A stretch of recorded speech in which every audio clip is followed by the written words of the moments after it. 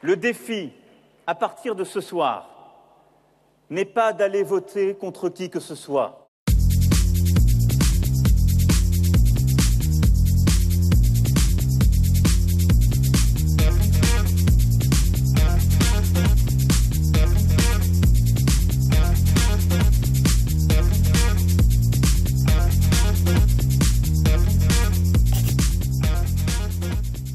C'est une belle façon de- d'essayer quand même, en utilisant ce qu'on nous donne, bah quand même essayer de, se faire un peu mieux entendre. Quoi.